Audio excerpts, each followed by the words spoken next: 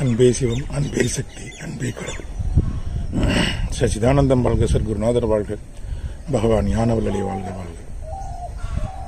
எல்லாம் வல்ல இறைவனாகிய சடாஜர சர்க்குருவுடைய திருநாமங்களை என்று நினைத்து அவருடைய அருளும் அவருடைய அனுக்கிரகமும் அனைவருக்கும் பகிர்ந்து கிடைக்கட்டும் என்று பிரார்த்தனை செய்து உங்களோடு பகிர்ந்து கொள்கிறேன். பொதுவாக வந்து கடவுளுடைய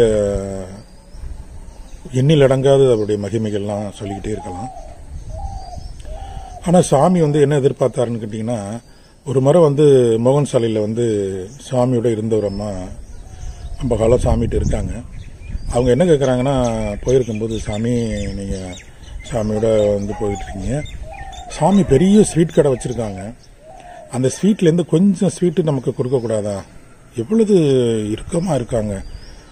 என்ன என்னென்னு பண்ணுறல நான் என்ன தான் செய்யணும்னு தெரியலையே சாமி. நான் எப்படி தான் பிரார்த்தனை பண்ணுறது அவங்க கூடவே இருக்கிறேன். எனக்கு நம்ம நல்வழிப்படுத்தணுங்கிறதுக்கு ஒரு மார்க் நமக்கு தெரிஞ்சுக்கணும் அப்படிங்கிறதுக்காக தான் வந்து அவர்கிட்ட சாமிக்கிட்ட இது பண்ணுறேன் ஆனால் அப்படியே ஒன்றுமே பண்ணாமல் இருக்காங்களே நான் என்ன செய்கிறது அப்படிங்கிறது மாதிரி அந்த அம்மா கேட்குறாங்க அப்போ வந்து சாமிகளை வந்து இப்படி இப்படி அப்படி இப்படின்னு சொல்லி சில இதுகளை வந்து ரெண்டு பேரும் பேசி ஒரு மாதிரி பேசி சொல்லிக்கிட்டு இருக்கும் பொழுது சொல்லி முடிச்சுட்டு நான் சரின்ட்டு இது மாதிரி நீங்கள் எப்பவும் அது மாதிரி நினைக்காதீங்க.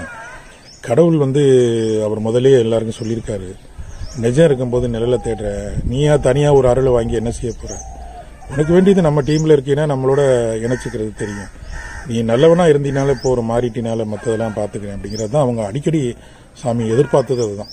என்னை நீ வணங்கணும் என்னை பூஜை பண்ணணும் அப்படிங்கிறதெல்லாம் ரொம்ப விஷயமா நேராக கும்பிட்டா கூட ஏன்டா கும்பிட்ற நீ அப்படிம்பாங்க.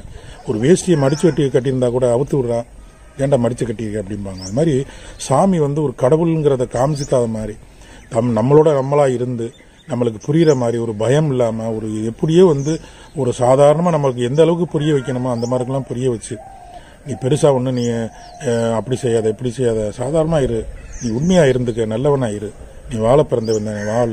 எவ்வளவு நாளும் அந்த உலகத்தில் வாழ்கிற வரைக்கும் நேர்மையாக இருந்துட்டு உன்னால பிறருக்கு என்ன நன்மைகள் பெறாங்க உன்னால் யா எத்தனை பேர் ஒரு ரெண்டு பேர் மாறி இருக்காங்களா அப்படிங்கிறத ஒரு எடுத்துக்காட்டாக நீ இந்த உலகத்தில் வாழணும்டாங்கிறத ரொம்ப எதிர்பார்த்தாங்க. அந்த மாதிரி இந்த அம்மாட்ட பேசிட்டு நான் வெளியில் வர்றேன் சாமி அங்கே இருந்துட்டு டோய் அப்படின்னு சத்தம் கூப்பிட்டாங்க. என்னடா சென்ட்டு சாமி என்ன திரும்பி பார்த்தா சாமி ஏண்டா என்னை பற்றி படிச்சுக்கிட்டே இருக்கிறியடா உன்னை பத்தி எப்படா நீ படிச்சு தெரிஞ்சுக்க போற அப்படின்னாங்க. அவங்க அதைத்தான் விரும்புனாங்க. என்னை பத்தி இப்ப சாமியை பத்தி நிறைய பேர் பேசிக்கிட்டு இருக்காங்க சாமி அந்த அற்புதங்கள் பண்ணாங்க அந்த அற்புதங்கள். அதுதான் கேட்டுக்கிட்டே இருக்கமே. இறைவன் இருந்தா அற்புதங்களை செய்யத்தான் செய்வாங்க. ஏன்னா கடவுள் அவங்க. ஆனா அவங்க அந்த பெருமை அவங்க கேட்கல. அதை வந்து நான் இதெல்லாம் நீ சொல்லி எனக்கு பெருமைப்படுத்தணுங்கிறதுலடா.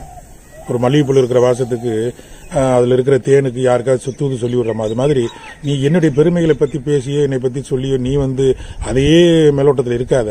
நீ என்ன மாறி இருக்க என்ன பக்குவம் அடைஞ்சிருக்க? என்கிட்ட வந்தவன் நல்லவனா மாறி இருக்கியா?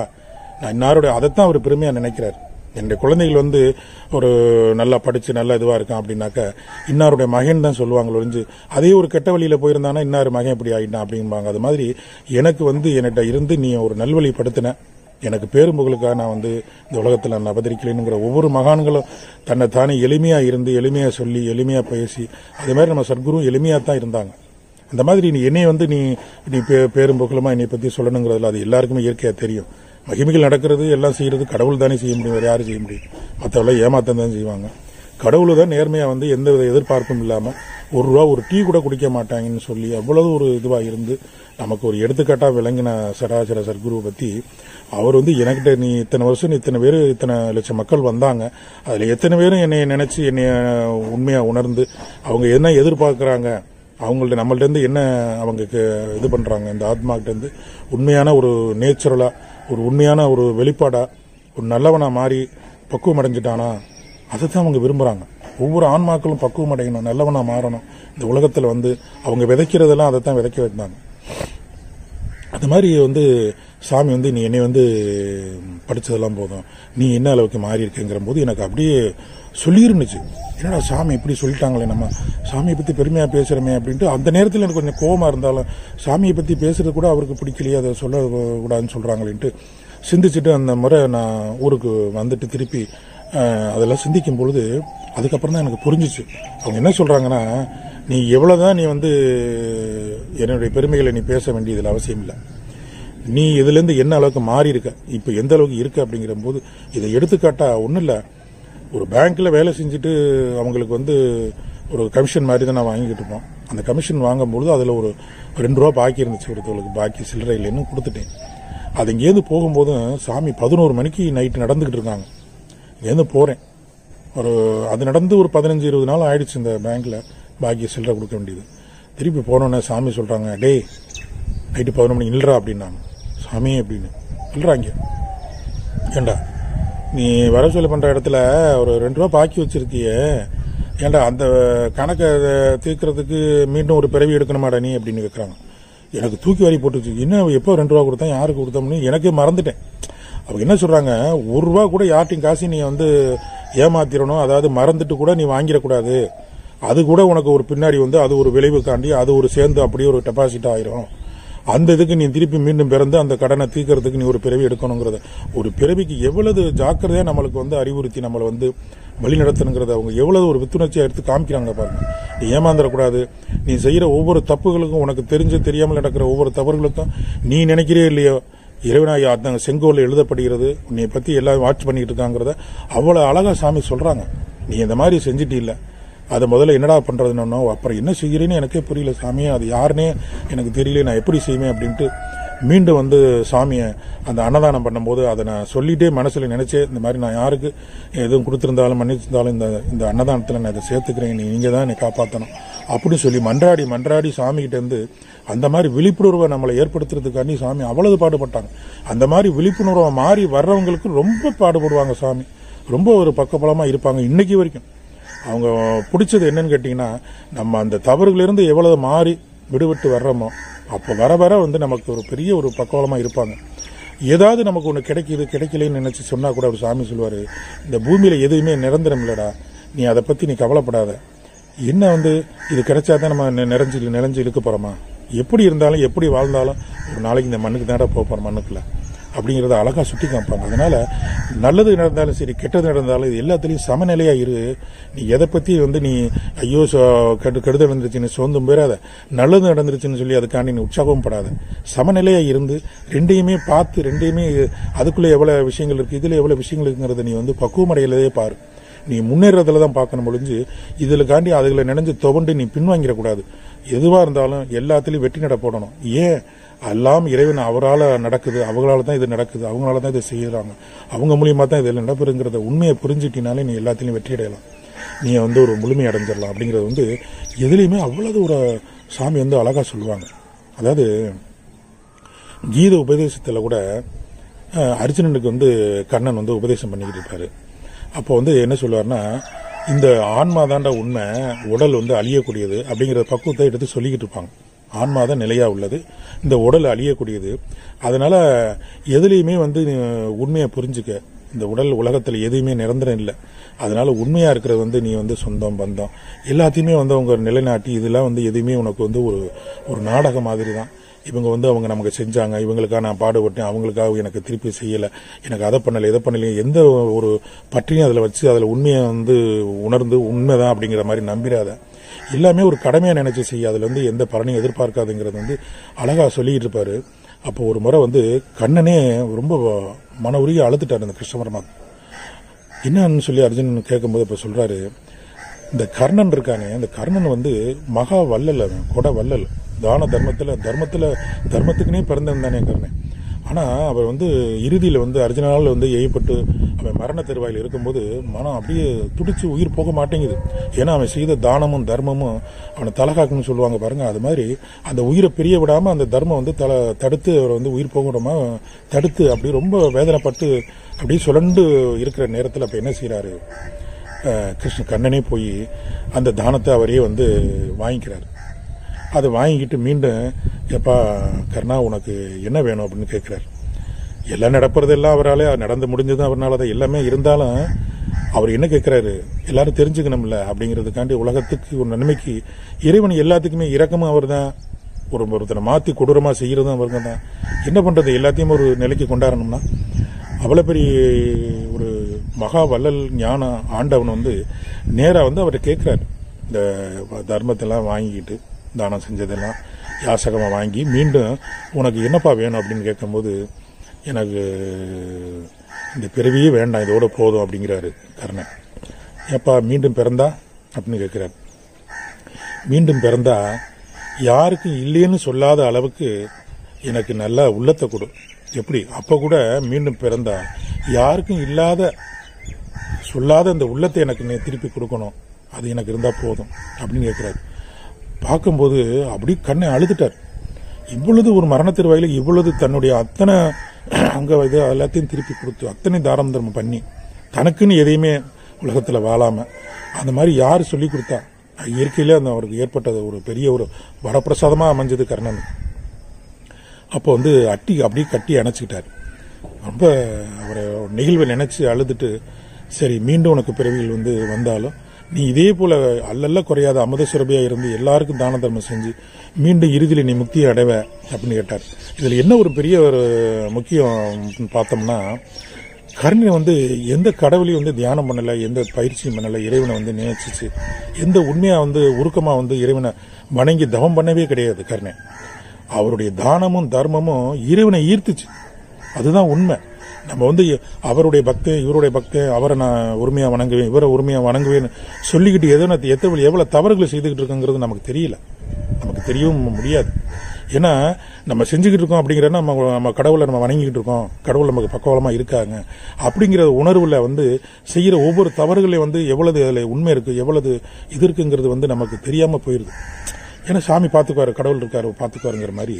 அது மாதிரிலாம் நம்ம வந்து ஏமாந்துடுறோம். அவர் வந்து எந்த இதையுமே எந்த இறைவனை வணங்கல. ஆனா அவரை தேடி கடவுள் போய் பக்கத்துல இருந்து உனக்கு என்ன வேணும்னு கேட்கிறாரு அவர் எனக்கு கண்ணனை நினைச்சு அவர் என்னைக்காவது தவம் பண்ணியிருக்காரா என்னைக்காவது எந்த இதுலயாவது அவர் இதுல பாருங்களேன் எதுலையுமே இல்லை. அவர் நடந்துகிட்டு இருக்கிற நன்முறையில் நல்லதே செஞ்சு தானமும் தர்மமும் செஞ்சு எந்த இறைவனையும் நேசிக்காம யாரு சொல்லியும் இல்லாம தன்னை தானே ஒரு பிறவிலேயே இப்படி ஒரு பிறவியா எடுத்ததுனால தான் ஏன் ஏன்னா இறைவன் நம்ம சர்க்குரு நேரம் வந்ததும் அவர் தான் சொல்லுவாங்க.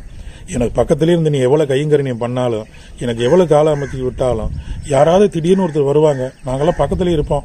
ஆனால் வந்தவொடனே அவங்க டீட்டை இதுங்கிட்ட கூட்டி தட்டுறாங்க கூட்டு பக்கத்தில் கூட்டு அப்படின்னு மண்ணை மண்ணு தரையை கூட்ட சொல்லுவாங்க. கூட்டி எங்களுக்குள்ளே எல்லாம் சுத்தம் பண்ணி நம்ம எப்படி இப்போ வீட்டுக்கு வந்தால் விருந்தாடிகள் யாரும் வந்தால் ஒன்று பாய் வைக்கிறோம் பான் எடுத்து வைக்கிறோம் தண்ணி வந்து குடி இது மாதிரி அவங்க பக்கத்தில் இந்த மண் தரையில் கூட்ட கூட்ட சொல்லி யாருன்னு பார்த்தீங்கன்னா திடீர்னு யாருமே தெரியாது நமக்கு. ஆனால் பக்கத்தில் யாரோ ஒருத்தர் இருக்கிற மாதிரி இருக்கும். ஒரு நேரத்தில் நேரம் நிஜமாக ஒருத்தர் வந்து உட்காருவாங்க. அவங்க உட்காந்தோன்னா என்னடா இவரு? சாமிக்கு ஒரு காலமிக்கு கூட விடல. சாமிக்கு ஒரு ஒரு கூட தண்ணி உரத்திக்கு கொண்டாந்து கொடுக்கல. ஒரு காப்பி டெவினி விலை இவரெல்லாம் புதுசாக இருக்காங்க. ஆனால் வந்தவொடனே இவ்வளவு இதுவாக உட்கார சொல்லி பக்கத்தில் உட்கார சொல்லி சாமி கழுத்தில் இருக்க துண்டை கூட தூக்கி கொடுத்துருக்காங்க. எத்தனை பேருக்கு நான் பார்த்துருக்கேன். எத்தனை கட்சி இதெல்லாம் என்ன அப்படின்னு கேட்டிங்கன்னா இயற்கையாகவே அவங்களாம் ஒரு நன்மையாகவே செய்ய செய்யப்பட்டு இருந்திருப்பாங்க அவங்க வந்து பிரார்த்தனைங்கிறதுக்கு இப்போ இறுதியில் வந்திருக்கலாம். ஆனால் ஆரம்பத்திலேருந்து நல்ல எண்ணத்தில் இருக்கணும். இப்போ அதுலேருந்து இப்போ எப்படி ஆயிடுச்சு அப்படின்னு கேட்டிங்கன்னா சாமி சொல்கிற ஒவ்வொரு விஷயங்களையும் அவர் என்ன எதிர்பார்த்த நமக்கிட்டேருந்து? நீ டீ வாங்கி கொடு எனக்கு ஆலமிக்கி கொடு எனக்கு காப்பி வாங்கி கொடு பக்கத்துலேயே இருந்து கைங்கரியம் பண்ணு எனக்கு அதை இதைச்சி இதை இதெல்லாம் அவர் எதிர்பார்க்கவே இல்லை. உள்ளன்போட தானம் தர்மம் செய்ய உன்கிட்ட என்ன கிடைக்குதோ அதை நீ செய்ய செய்ய முடியலையா? நல்லவனாயிரு. யாருக்கும் துரோகம் பண்ணாத. இது வரைக்கும் நீ வாங்கின கடன் எ- யாராருக்கு என்னென்ன தவறு செய்திருக்கோம் என்னென்ன தப்பு பண்ணியிருக்கோம் அப்படிங்க பூரா ரிப்ளை பண்ணி திருப்பி கொடு. இப்போ நான் அதை தான் செஞ்சுக்கிட்டு இருக்கேன். இப்போ நான் ஏற்கனவே நம்ம என்னென்ன தப்பு செஞ்சோம் என்னென்ன செஞ்சோம் யாராருக்கு நம்ம வாங்கணும் அப்படிங்கிறத இஞ்சி போய் இஞ்சி போய் நினச்சி நினச்சி அதை ஏதோ ஒரு வகையில் திருப்பி கொடுத்துக்கிட்டு இருக்கேன் இப்போ. வர இது வந்து இதை அங்கே கொடுத்துருன்னு சாமிகிட்ட சொல்லி சொல்லிட்டு செய்கிறேன். சாமி இந்த மாதிரி நான் ஏற்கனவே இந்த மாதிரி வாங்கியிருந்தேன். அதை இந்த வழியில் நான் கொடுத்துட்றேன். எனக்கு அதெல்லாம் வேண்டாம். அப்படின்னு சொல்லி உண்மையை இதை நினைச்சு நினைச்சு சாமிகிட்ட பிரார்த்தனை பண்ணி பிரார்த்தனை பண்ணி அதுலேருந்து நான் விடுபட்டுக்கிட்டு இருக்கேங்கிறது தான் உண்மை. இது எல்லாரும் இந்த ரகசியத்தை புரிஞ்சுக்கணும். இறைவனை நான் வந்து ஏதாவது கிடைக்கும். இன்னைக்கு வர்றவங்க பூரா சாமியோட அருமை பெருமைகளை பேசி பேசி கூட்டம் நிறையா வருது. கூட்டம் வந்து அவங்களுக்கு என்ன புரிய வைக்கணும் என்ன உண்மையை தெரிஞ்சுக்கணுங்கிறது ஒன்று இருக்குல்ல. நீங்கள் தாடி வளர்க்கணும் பெரிய சடாமுடியோட இருக்கணும் கலர் கலராக வேஷ்டி அடிக்கணும் பெரிய நத்தி நிறைய பட்டை அடிச்சுக்கிட்டு உட்காந்துக்கிட்டு எல்லாருக்கும் நான் மந்திரம் சொல்லணும். நீ அப்படி ஆயிரும் எப்படி ஆயிருங்கிற மகானாங்க. அதெல்லாம் அவங்க எதிர்பார்க்கவே இல்லை. இதெல்லாம் வேஸ்ட் இதெல்லாம் ஒன்றும் நடக்காது. அப்பேற்பட்ட இங்கே மகாவல்லல் வந்து இதெல்லாம் எந்த வேஷத்தை போட்டு காமிச்சார் யார்கிட்ட? ஒரு முடி கூட நாலு நாளைக்கு ஒருக்கா ஷேவிங் பண்ண சொல்லுவாங்க. அதெல்லாம் எந்த ஒரு இதுவும் இல்லை. நீ உடலால் நீ வெளியில் ஏமாத்துறடா. நீ இந்த உடம்ப வச்சு மாலையை போட்டுக்கிட்டு அதை போட்டுக்கிட்டு இன்றைக்கி பெரிய பரட்டையை வச்சுக்கிட்டு பெரிய பம்பை முடி வச்சுக்கிட்டு ஏமாற்றிக்கிட்டு ஊர் மக்களை கொள்ளையடிச்சு காசியில் வாங்குறது இதுதான் இன்றைக்கி ஏமாத்துறது. ஏமாத்துறதுக்குன்னே இந்த உலகம் அப்பனை பேரும் அவதரித்து வந்திருக்காங்கிறதான் சொல்ல முடியும் முடிஞ்சு இதுலேருந்து எத்தனை பேர் விழிப்புணர்வோட மாறி நீ வந்து அப்படிலாம் இருக்க வேணாம் இப்படிலாம் இருக்க வேணாம் உன்னை நீ உதச்சிக்க வேண்டாம் உனக்கு கொடுத்த உடம்பு ஆண்டவன் கொடுத்தது. உன்னால் எதுவுமே கிடையாது அந்த உலகத்தில். நீ நல்லவனா நல் தன் உயிரை போல இந்த மண் உயிரை நினை. எதுவாக இருந்தாலும் தன்னிட்டேருந்து அதில் விடுதலை ஆகி இப்போ சாமி கூட இருந்தவங்க நிறைய பேர் இருந்திருக்காங்க. சாமி இங்கிட்டு உட்காந்துட்டு போற அங்கிட்டு போய் பீடி குடிச்சுக்கிட்டு இருப்பாங்க. என்னென்னு கேட்டாக்க நாங்கள் எல்லாத்துலேருந்து விடுதலை பட்டு வந்திருக்கோம். அதனால நாங்கள் இதெல்லாம் வந்து எவ்வளோ பெரிய தப்பு. ஆனால் சாமி அதெல்லாம் வந்துட்டு என்கிட்ட இருக்கும்போது நீ பீடி குடிக்காதரா நீ அதை பண்ணாதரா இதை பண்ணாதரான்னு சொல்ல முடியுமா? நம்ம நாம தான் மாறணும் அவர். எப்பேற்பட்ட கடவுள் எப்பேற்பட்ட ஆத்மா எப்பேற்பட்ட ஆண்டை நமக்கு கிடைச்சிருக்காருன்னு. இதை விட நமக்கு என்ன சாமி உலகத்தில்? என்ன வேணும் சொல்லுங்க. நமக்கு இன்னைக்கு வைரம் கிடைக்கட்டும் கோடான கோடி செல்வம் கிடைக்கட்டும் கோடான கோடி பணம் கிடைக்கட்டும். எல்லாத்துக்கும் மேலே இறைவன் ஒரு பக்கமும் இந்த கோடிக்கணக்கான சொத்துக்கள் ஒரு பக்கம் வச்சு எது வேணும்னு கேட்டால் நம்ம எனக்கு கோடி தான் வேணும்னு நம்ம போவோமா? நம்ம என்ன விவரமா? ரெண்டும் தான் வேணும் நம்ம சொல்லுவோம். பொதுவாகவே இறைவன் ஒரு குருனா ஒரு ஒரு ஒரு குருகிட்ட போய் மூணு பேர் குரு ஒரு குருவை தேர்ந்தெடுத்து அவங்களோட சிசியர்களா இருந்து அத்தனது கற்றுக்கிட்டாங்க எல்லா வல்லமைகளும் கற்று அந்த குருநாதர் வந்து இவங்க மூணு பேரை பற்றியும் அவங்களுக்கு ஏற்கனவே தெரியும். ஏன்னா நம்ம உள்ள நுழையும் போதே கணக்கப்பட்டியில் யார் யார் இதில் கடை தருவான் கடை தர மாட்டேன்? இவன் எதுக்கு வந்துட்டு போறான் எதுக்கு வந்துட்டு போறான்? அதுக்காண்டி அவங்க சலிக்கிறது இல்லை எதை வேணாலும் வாங்கிக்க போ. உனக்கு வேண்டியது நீ இன்னமும் இதை இதை தான் கேட்டு நீ புரிஞ்சுக்கிட்டு போன்ற எதை சொன்னாலும் நீ புரிஞ்சுக்க போறதில்ல. ஏன்னா என்னதான் இருந்தாலும் இயற்கையா மலர்ற மலர்கள் இருக்கிற வாசத்துக்கும் அதை கசக்கி பிரிஞ்சு இது பண்ணோம்னா அதுல உண்மையான மலர் கிடைக்கும் கசங்கின வாடை தான் அடிக்கும். அது மாதிரி இயற்கையா மரத்திலே பழுத்து கனி வந்து சுவையோடு இருக்கிறத மாதிரி நீ இயற்கையாவே மாறணும். இயற்கையாவேனா அவர் நினைச்சானா ஒரு செகண்ட்ல எல்லாத்தையும் மாத்திரலாம். நீ நல்லவனா ஆனா நம்ம நல்லவனா மாறிடலாம். ஆனா அவங்க என்ன செய்யறாங்க இயற்கையா நீ வந்து உன்னை வந்து நீ உன்னை பக்குவப்படுத்து. உன்னை உன்னை முழுமையாக நீ உன்னை செதுக்கிக்க நீ நல்லவனா மாறிக்க. ஆரம்பத்தில் நம்ம அறியாமல் இருந்திருக்கலாம். எவ்வளோ தவறுகள் செய்திருப்போம். ஆனால் அதெல்லாம் நம்ம வந்து நம்ம செஞ்சதெல்லாம் கரெக்டுங்கிறது நம்ம இதிலே நம்மளே நம்மளை தயார்படுத்திக்கிட்டு நம்மளை அடுத்தடுத்த தவறுகளை நம்மளே செஞ்சுக்கிட்டு இருக்கோம். ஆனால் கடவுள் வந்து ஒரு ஒன்றும் இல்லை ஒரு தண்ணி குடிச்சதுக்கு கூட அவர் என்ன சொல்லிட்டாரு? ஒரு மத்தியான நேரம் பம்பு செட்டில் தண்ணி ஊற்றிக்கிட்டு இருந்துச்சு. வேலையெல்லாம் பார்த்துட்டு போய் தண்ணி குடி வந்துட்டு இங்கேருந்து போய் ஒரு கூட இப்படி தண்ணியை பிடிக்க போனேன் இந்த பம்பு செட்டில் ஊற்றிக்கிட்டு இருக்கேன்ட்டு. டோயின்னு சத்தம் கேட்டுச்சு. திரும்பி பார்த்தே சாமின்னு இருந்தாங்க. என்னடா பண்ற அப்படின்னு கேட்டாங்க. சாமி தா தாகமா இருக்கு சாமி. அதனால கொஞ்சம் தண்ணி குடிக்கலாம்னு குடிக்க பண்ணும் "ம். தண்ணி குடிக்கிறியா? எவ்வளோ முதல் போட்ட அந்த கேணியில் கேணி வெட்டுறதுக்கு அப்படின்னாங்க. நான் போட்டதே புது. சாமிக்கான எனக்கு கணக்க முடியல தெரியும். எனக்கு அங்கே யாரையும் தெரியாது. எந்த வயலில் போய் நான் முதல் போட்டது? நான் அது மாதிரிலாம் ஒன்றும் இல்லைங்க சாமி அப்படின்னு. ம். சரி. ஏதாவது அந்த கேணி வெட்டுறதுக்கு ஏதாவது இறங்கி பாடுகிடு பட்டியா? அப்படின்னு கேட்குறாங்க அடுத்த கேள்வி. இல்லை இல்லைங்க சாமி. அது மாதிரிலாம் நான் ஒன்றும் செய்யலைங்க சாமி. சரி அந்த தோட்டத்துக்கார அந்த உரிமையாளர்கிட்ட ஏதாவது சொல்லியாடா சாமி? தண்ணி குடிச்சிக்கலாமான்னு அப்படின்னு. நான் அதையும் சொல்லலைங்க சாமி அப்படின்னு. அப்புறம்னு சொல்லிட்டு ஒரு வார்த்தையை சொல்லியாண்டா என்ன இதுக்குடா போய் அப்புறம் அதை போய் தொடரேன்னு கேட்கிறாரு அப்போ பாருங்கள் எவ்வளவு ஒரு எது ஒரு இது கிடைக்குதே அப்படிங்கிறதுக்காண்டி அதை கூட ஒரு ஓசியில் கிடைக்கும் நான் குடிக்க போனோம் நம்ம நினச்சது என்ன? தண்ணி தானே தோட்டத்துக்கு போயிட்டு ஒரு பிடி தானே குடிக்க போறோம்ட்டு நம்ம நினச்சான் அவர் என்ன சொல்றாரு? அது கூட வந்து உனக்கு தவறு. பத்து கையை உனக்கு கொடுத்துருக்கேன்ல உடம்பு எல்லா பவரையும் கொடுத்துருக்கேன்ல. மூளை கொடுத்துருங்க நரம்பு கொடுத்துருங்க விலை மதிக்க முடியாத அத்தனை இதுகளையும் உன் உடம்புக்குள்ள கொடுத்துருக்கேன். இதை வச்சு செயல்பட்டு என்னை அடையிறதுக்கு தாடா எவ்வளோ உனக்கு கொடுத்து வச்சிருக்கேன்? ஆனால் நீ என்னையை மறந்துட்டு தலைகீழ எல்லாத்தையுமே உனக்குன்னு ஒரு குடும்பம் எனக்குன்னு ஒரு வாழ்க்கை நம்ம இங்கேயே நிலைச்சிருக்க போகிறோம்னு சொல்லி நீ எதை வேணாலும் செஞ்சால் எல்லாம் கடவுள் இருக்கார் பார்த்துக்குவார். அவர்கிட்ட ஒரு வருஷம் ஒரு மாதத்துக்கு ஒருக்கா அவரை போய் பார்த்து சாமி கும்பிட்டு ஏதோ ஒரு சாப்பாடு போட்டு வாங்கி கொடுக்கும்போது வாங்கி கொடுத்துட்டு அந்த பாவம் சரியாக போயிடும் அப்படின்னு தெரியாமல் எவ்வளோ தவறுகள் இன்னமும் செஞ்சுக்கிட்டு சாமி பேரை சொல்லிக்கிட்டு இன்னும் எவ்வளோதோ வேறு இன்னும் மாறாமல் இருக்குங்கிறதான் உண்மை. இன்னமும் அந்த இடத்துல இருந்து இன்னும் எத்தனை பேர் மாறாமல் எத்தனை பேர் வந்து போகிறவங்க என்ன என்ன நம்மளுக்கு இன்னும் என்ன கிடைக்கும்? சாமி என்ன செய்வார்? சாமியை வந்து கும்பிட்றதே வந்து நமக்கு எதிர்பார்ப்புக்கு தான். இங்கே போகிறதே கூ- கூட்டம் போடுறதே என்ன? என்னாவது நமக்கு இப்படி வேணும் அது வேணும் இது வேணும். கிடைக்கிட்டேன் ஆனால் அதில் வந்து நேர்மை இருக்கணும். அவர் வந்து நம்ம எதிர்பார்த்தது எல்லாமே.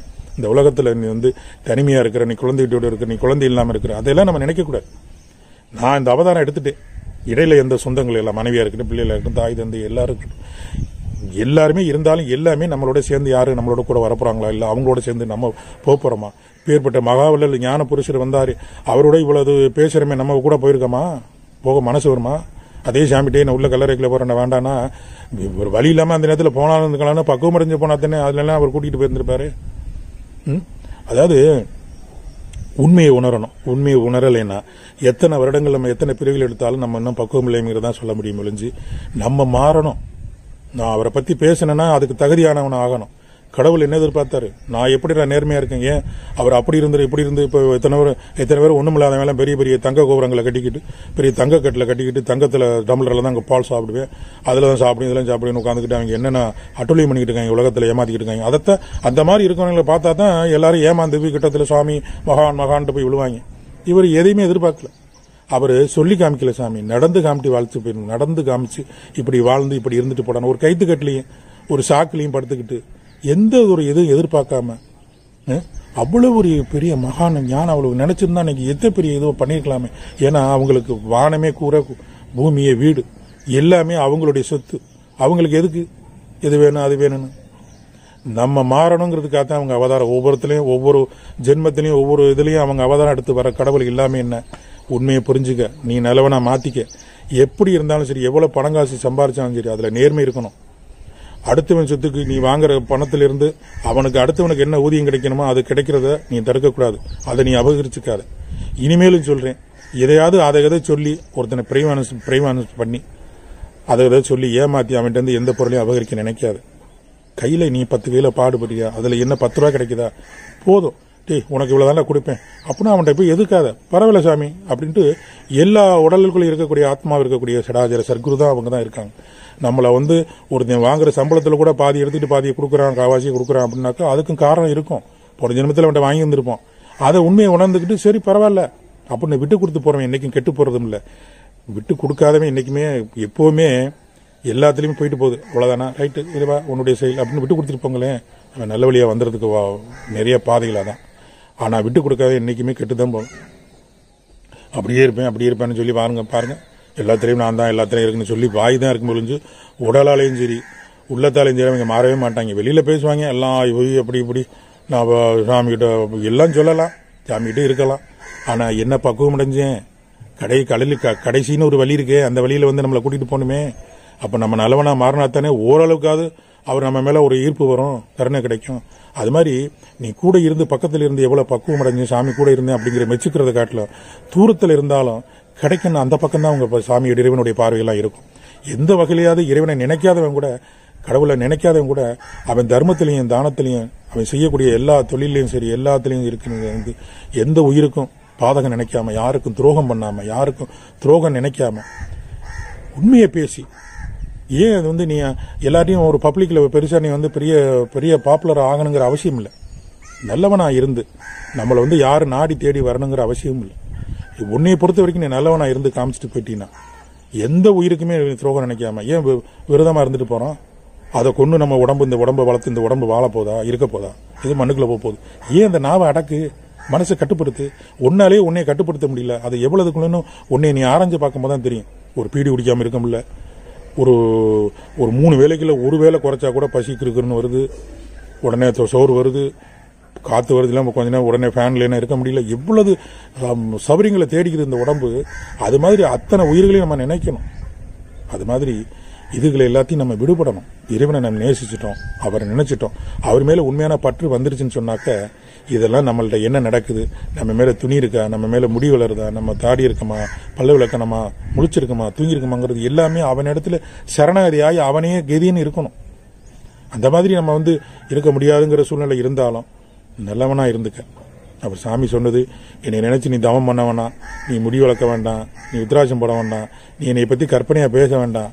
நீ உண்மையாக நீ மாறிக்க. என்கிட்ட வந்தவன் நீ நல்லவனா இரு மாறிட்டேன். நான் யாருக்கும் எந்த துரோகம் பண்ணுறதில்ல எனக்கு என்ன வருமானம் கிடைக்குதோ அதுக்குள்ளே நான் மனசு சந்தோஷமாக இருந்துக்கிறேன். நீ என்ன கொடுக்குறியோ அதை நான் ஏற்றுக்கிறேன் அதை வச்சு எனக்கு கிடைச்சது எனக்கு தேவையானது போக மிச்சம் இருக்கிறது யாருக்கோ ஒருத்தருக்கு ஏதோ ஒரு இல்லாத செய்கிறேன். நான் நேர்மையாக வர்றேன் சாமி. ஏதோ கிடைக்கிறதில்ல சாப்பிட்றேன். ஒரு வயிறு சாப்பிட்டாலே எனக்கு ஆனந்தமாக சாப்பிட்றேன். அதை உனக்கு கொடுத்துட்டு சாப்பிட்றேன் அப்படிங்கிறதான். அந்த மூணு பேர் போனதில் மூணு பேருமே அந்த ஒரு முதல்ல சொன்னேன்ல அந்த குரு கிட்ட இருந்து. மூணுமே அவ்வளோ வல்லமங்களில் கற்று எல்லாம் முடிச்சு சரி அவங்கவுங்க எல்லாரும் முடிஞ்சிருச்சு உங்களுடைய பயிற்சி எல்லாம் முடிஞ்சிச்சுப்பா. நீங்கள் எல்லாம் போய் இந்த உலக மக்களுக்கு நல்லதை செய்கிறத நீங்கள் பாடுபடணும். எனக்கு வந்து நீங்கள் எதையும் கைமாறும் வேண்டாம். என்கிட்ட இருந்து கற்றுக்கிட்டதில் நல்ல விஷயங்களை எல்லாருக்கும் எடுத்து பகிர்ந்து எல்லாருக்கும் பாவிங்க. இந்த உலக மக்கள் உங்களால் எத்தனை பேர் நல்லவனாக மாற முடியுமோ மாற்றி விடுங்க அப்படின்னு சொல்லி அவரை விடைபெற்று ஆசீர்வாதம் பண்ணி அனுப்புகிறாங்க அப்போ அந்த மூணு பேரில் ஒருத்தன் இருந்தாலும் அஹ், எப்பா எல்லாம் புரிஞ்சுக்கிட்டீங்களாப்பா? இல்லை எதுவும் சந்தேகம் இருந்தால் உங்களுக்கு எதுவும் வேணும்னா இப்பயே கேட்டு வாங்கிட்டு போங்கப்பா. இன்னும் எதுவும் பாக்கி இருந்துச்சுன்னா சொல்லுங்கப்பா அப்படின்னு குரு கேட்குறாரு அதுக்கு ஒருத்தர் வந்து தயங்கிட்டே நிற்கிறாங்க இருந்தாலும் சும்மா சொல்லுப்பா அப்படின்னு கேட்டானு ஒருத்தன் சொல்கிறேன் சாமி நான் வந்து கிராமத்துலேருந்து வந்தவன். எவரு? யார்? இத்தனை வருஷம் இருந்து கற்று நான் கிராமத்துலேருந்து இருந்து வந்தவன். எனக்கு வந்து அப்பா வந்து வெளியில் தினக்கூலிக்கு தான் போய்கிட்டு இருந்தாங்க. அதனால் வந்து நான் எல்லாம் செய்கிறேன் ஆனால் எனக்குன்னு வந்து ஒரு பத்து ஏக்கர் நிலம் இருக்கணும். அதில் எந்த எந்த நேரம் விளைச்சல் வந்து குறையில்லாமல் எந்த நேரமும் மூணு போகமும் நல்லா விளையணும். நல்ல மகசூல் கிடைக்கணும். ஊரில் நல்லா ஒரு வீடு கட்டிக்கணும். கடைசி வரைக்கும் உண்ண உணவு உடுத்த உடை இல்லாமல் குறை இல்லாமல் நல்லபடியாக நான் வாழணும். அந்த ஆசீர்வாதத்தை நீங்கள் தொடர்ந்து எனக்கு செஞ்சிடணும் அப்படின்னு நினைக்கிறேன். சரிப்பா. ரொம்ப சந்தோஷம். அதே மாதிரி நீ உனக்கு கிடைச்சிடும் அப்படிங்கிறாரு. ஒன்று அடுத்தவனு கேட்குறாரு சாமி நான் வந்து டவுன்லேருந்து வந்தேன். ஒரு இதுலேருந்து பட்டணத்துலேருந்து வந்தேன். எனக்கு வந்து அப்பா எங்கள் கஷ்டமெல்லாம் குடும்பம்லாம் ரொம்ப கஷ்டப்பட்டுக்கிட்டு இருக்கோம். எங்களுக்குன்னு ஒரு வீடு குடியிருக்கிறதுக்கு இல்லை. அதனால் எங்களுக்கு நல்லா குடியிருக்கிற மாதிரி நல்லா ஒரு வீடு வசதியான ஒரு பங்களா வீடுக்கு வேணும். என்றைக்கும் என்னைக்கும் குறையில்லாத இப்போ செல்வம் சிறப்போட பணங்காட்சியோட சந்தோஷமாக நாங்கள் வாழணும். அதையும் நான் நிலச்சிருக்கணும். நான் செய்கிறேன் நீங்கள் சொல்கிற கடமையில் நான் செஞ்சுக்கிட்டு இருக்கேன் அப்படிங்கிறேன். சரிப்பா நீ அப்படியே ஆகட்டும் அப்படிங்கிறாரு. அப்போ மூணாவது ஒருத்தர் கேட்குறாரு அப்போ நீ என்னப்பா பேசாமல் நிற்கிறீ உனக்கு என்னப்பா வேணும்? அப்படின்னு கேட்குறாரு இறைவா இந்த உலகத்தில் படைக்கப்பட்ட அனைத்துமே உன்னாலது. உன்னுடைய திருவடியில் நான் நினைக்கும் போது எனக்கு எதுவுமே பெருசாக தெரியல. உங்களுடைய திருவடி நினச்சி நினச்சி உங்கள் திருவடிக்கு நான் தொண்டு செய்கிற பாக்கியத்தை இந்த இறுதி மூச்சு இருக்கிற வரைக்கும் நான் உங்களுக்கு தொண்டு செய்யணும். வேறு எந்த உணவு எனக்கு எதுவுமே எனக்கு வேண்டாம். இந்த உடல் கூட எனக்கு பாரமாக இருக்குது எனக்கு எல்லாமே இந்த நீங்கள் கட்டியிருக்க இந்த துணிமணி கூட எனக்கு பாரமாக இருக்குது அதனால் இந்த பாரத்திலிருந்து என்னை சுமையை நீக்கி உங்கள் திருவடியில் இருந்து இதை விட நீ பொக்கிஷத்தை நான் இனிமேல் எங்கே நான் பார்க்க போகிறேன் எத்தனை பொதியில் கிடைச்சானே எத்தனை இது கிடைச்சானே? உங்கள் திருவடியை காட்டல நீங்கள் எல்லாமே படைக்கப்பட்ட உங்களுடைய திருவடி. நீங்கள் இருந்தால் எனக்கு எல்லாம் கிடைச்சது மாதிரி. அதனால் உங்கள் தொண்டை எனக்கு வேணும். உங்கள் தொண்டு தான் எனக்கு வேணும். உங்கள் கூட தான் நான் இருக்கணும். உங்கள் திருவடி தான் எனக்கு வேணும்னு வேறு எந்த எதிர்பார்ப்பும் கேட்கல. அப்படி சரணாகதி. அவர் தான் இறுக்கி கட்டி பிடிச்சிக்கிட்டார் ஏன்னா இன்னைக்கு சாமி கிட்ட வரவங்க எல்லாருமே சாமி என்ன எதிர்பார்க்குறாங்கன்னா எல்லாருமே வந்து அது இது வேணும் இது வேணும் அது வேணும் இது வேணும் தான் கேட்டுட்டு போயிருங்க ஒழிஞ்சு சாமி உங்களுக்கு என்ன விருப்பம்? உங்களுக்கு என்ன தேவை? நீங்கள் என்ன எதிர்பார்த்தீங்க? அப்படிங்கிறத அவருக்குன்னு உண்மையாக உணர்ந்து அவங்க கூட இருந்து தொண்டு செஞ்சாங்களாங்கிறது வந்து அது எப்படிங்கிறது அது சொல்ல முடியல. ஏன்னா எல்லாமே எதிர்பார்ப்போட தான் நம்ம வாழ்ந்துகிட்டு இருந்தோம். எதிர்பார்ப்புக்காக தான் நம்ம வந்தோம். எங்கேயாவது ஒரு இடத்துக்கு போனோம்னா என்னாவது கிடைக்குமா? ஒரு தொழிலுக்கே போகிறோம்னா எதிர்பார்ப்பு தானே. எந்த இடத்துக்கு கோயிலுக்கு போனாலும் என்ன இன்னைக்கு வந்து உண்மையா உருக்கமா உருக்கமா வந்து இந்த உலகத்துல என்னை படைச்சிட்டா நான் நல்லவனா மாறிட்டேன் நல்லவனா மாறுறதுக்கு எனக்கு என்ன வழி? அப்படின்னு யாரும் உண்மையா உருக்கத்தோட யாரும் கேட்டு இந்த மாதிரி மாறினாங்கிறது இல்லை. எனக்கு குடும்பம் குடும்பம் நல்லா இருக்கணும் குழந்தைகள் நல்லா இருக்கணும் கல்யாணம் ஆகணும் திருமணம் ஆகணும் குழந்தை பிறக்கணும் செலஞ்சிருப்பு வேணும் பணங்காசு வேணும் நோய் நொடி போகணும். இதுதான் பிரார்த்தனை ஒழிஞ்சு இறைவா உன்னோட சரணாகதி ஆகணும் உனக்கு துண்டனா இருக்கணும். உன்னுடைய நீ எப்படி இந்த உலகத்தில் இறைவன் வந்து எல்லாத்தையும் நேசிச்சு அது மாதிரி எல்லா உள்ளத்துலையும் எல்லா ஜீவராசிகளையும் அன்பாக நான் இருக்கணும். அவங்களுக்கு எந்த உயிருக்கும் நான் வந்து ஒரு பாதகமாக நினைக்கக்கூடாது. அப்படிங்கிறத மாறணும். நிலை மாறினாதான் நம்ம இந்த பிறவியோட அதாவது இந்த பிறவி எடுத்ததுக்கு மீண்டும் பிறவி பிறவாத வரம் வேணும் அப்படின்னாக்க இதிலிருந்து நம்ம விடுதலை ஆகணும். ஒரு கடல்லிருந்து ஒரு தண்ணியில இருந்து நம்ம நடுவில் இருந்துட்டோம்னா ஏதோ ஒரு நம்மளுக்கு ஒரு கட்டை கிடைச்ச மாதிரி அதுலேருந்து நம்ம தப்பிச்சு நம்ம அந்த கரை சேரணும் அப்படின்னு நினைச்சோம்னா இந்த மாய உலகத்திலிருந்து இந்த மாயத்திலிருந்து நம்ம மாறணும் அப்படின்னாக்க எல்லாத்துலேருந்து எல்லா கருமமாக தேடு வரும். பணத்தை கொடுப்பான் எல்லாம் கொடுப்பான் பெண்ணுங்கள் வரும் எல்லா வரும். எல்லா ஆசைகளையும் ஏற்படுத்திக்கிட்டு தான் இருக்கோம் அதுலேருந்து எல்லாத்தையும் விடுதலை பண்ணி இறைவனுடைய திருவடி இறுக்கி பிடிச்சிக்கிட்டு வாழ்க்கையில் எல்லாத்துலேயுமே நம்ம கரை சேரணும்னா அவருக்கு பிடிச்சது மாதிரி நம்ம மாறணும். நல்லவனாக இருந்தால் தான் கரை சேர முடியும் நல்லவனாக மாற முடியும். அப்படிங்கிறது உண்மையை எல்லாரும் உணரணும். இதை உணர்ந்துட்டோம்னா நம்ம ஜெயிச்சிடலாம் சாமிக்கு ரொம்ப பிடிச்சவனா ஆயிரும் நம்ம சாமி கிட்ட கிட்டக்க போகணுங்கிறது இல்லை நல்லவனாக இருந்து நம்ம மாறிட்டு நல்லபடியாக இருந்துகிட்டு இருந்தோம்னா அதுவே அவருக்கு ரொம்ப பிடித்து நம்மளை தேடி அவங்க வந்துடுவாங்க நம்ம தேடி எங்கேயும் போகணுங்கிறது இல்லை கடவுளே நம்மளை தேடி வந்து கொடி புகுந்துருவாங்க அப்படிங்கிற ஒரு அருமை பெருமையை சொல்லி உங்கள்கிட்ட வந்து நான் விடைபெறுகிறேன். மீண்டும் சந்திப்போம். சச்சிதானந்த சர்க்கரிவே திருவடிய சரணம்.